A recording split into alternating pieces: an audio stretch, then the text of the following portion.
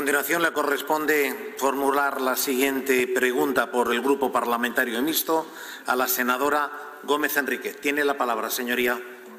Gracias, señor presidente. La doy por reproducida. Gracias, señoría. Señor ministro. Gracias, señor presidente.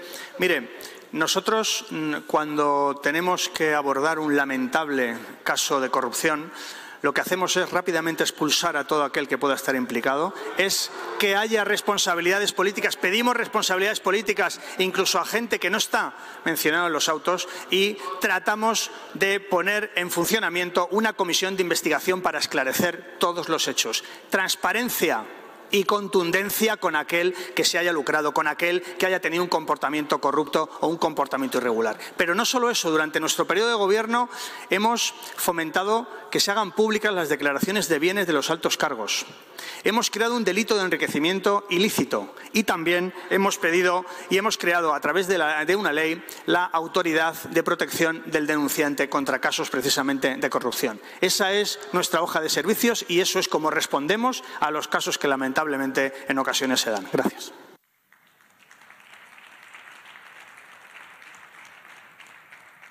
Senadora Gómez Enrique, tiene la palabra. Eh, señor ministro, el derecho a saber y la transparencia ante la sociedad deben ser vectores fundamentales en la acción pública y política de aquellos que nos gobiernan. Unos gobernantes a día de hoy que recuerdan aquellos personajes torrentianos que protagonizan la trama de una famosa película de Coppola. Su gobierno avaló el nombramiento de Coldo como consejero de Renfe en mercancías, porque según ustedes era de acuerdo con la legalidad y reunía las condiciones necesarias para el cargo. O sea, que un portero de puticlub pasa a consejero en un plis-plas.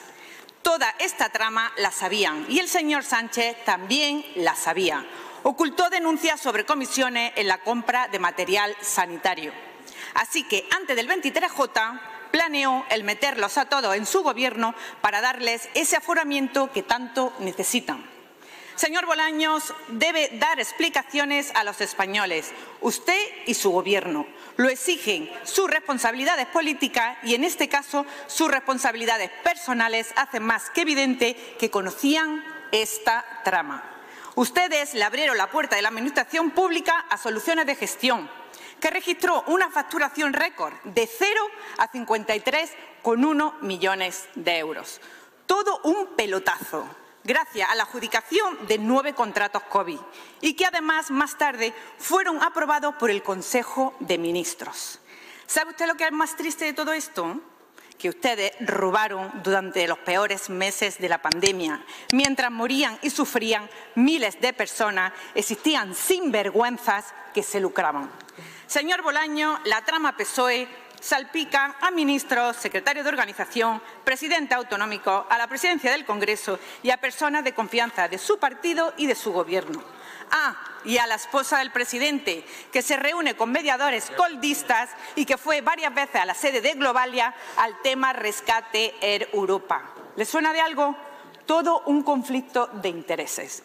Pedimos responsabilidades políticas y dimisiones, y ustedes tienen el deber y la obligación de darla. La señora Almengor debería haber dimitido esta mañana por ser cooperadora necesaria. Aquí hay mucha tela que cortar antes de llegar al señor Sánchez. Y si existe justicia, todo llegará. Tiempo al tiempo. Ustedes no son un ejemplo para la sociedad. Su partido no representa a nadie. ¿Sabe por qué? Porque un corrupto solo representa a corrupto. Sois el lado más oscuro y siniestro de un capitalismo salvaje y desaprensivo que utiliza redes clienterales para favorecer al PSOE y a los amigos del PSOE.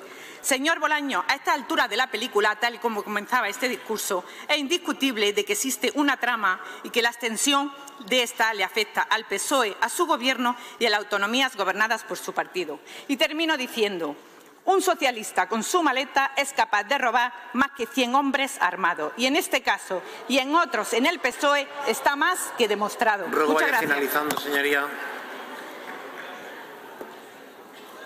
Señor ministro, tiene la palabra. Gracias, eh, señor presidente. Voy a intentar contenerme ante una intervención tan absolutamente miserable como la que ha hecho la señoría de Vox y de la ultraderecha. Una intervención absolutamente miserable que ha traspasado todas las líneas rojas. Porque mire, a mí me repugna la, corrupción, igual que me repugna manchar injustamente nombres de personas honradas y de personas que no merecen que en su boca se pongan delitos. Porque cuando usted habla de dirigentes, de ministros, de personas que en su opinión han cometido delitos, ¿me puede usted decir exactamente quiénes y cuáles son las pruebas que acreditan lo que usted está diciendo? Porque si no puede hacerlo, está usted cometiendo un delito de calumnias. Si no puede hacerlo, si no puede hacerlo, está usted calumniando, está usted calumniando y eso es tan repugnante como la corrupción. Y por tanto le pido respeto para personas honorables. Mire, no está la ultraderecha española para dar lecciones de nada. No rellenan ustedes ni las declaraciones de bienes de altos cargos ni de miembros de las Cortes Generales, ni las rellenan. Nosotros nuestras cuentas como Partido Socialista las auditamos y las publicamos. Las suyas están ocultas. ¿Por qué están ocultas las cuentas de Vox y de la ultraderecha? ¿Me lo puede decir?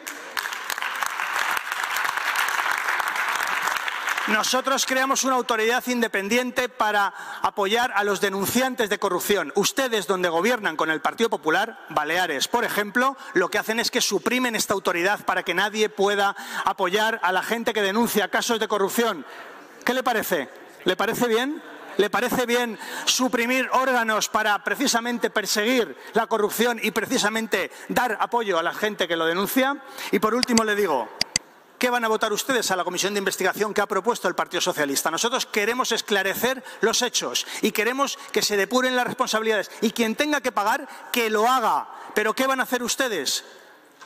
Pues seguramente votar en contra, porque ustedes lo que quieren es precisamente lo contrario, que todo sea opaco, como las cuentas de Vox, como las finanzas de la ultraderecha, como los sobresueldos de la ultraderecha y como todo lo que rodea a la fuerza ultraderechista Vox. Gracias.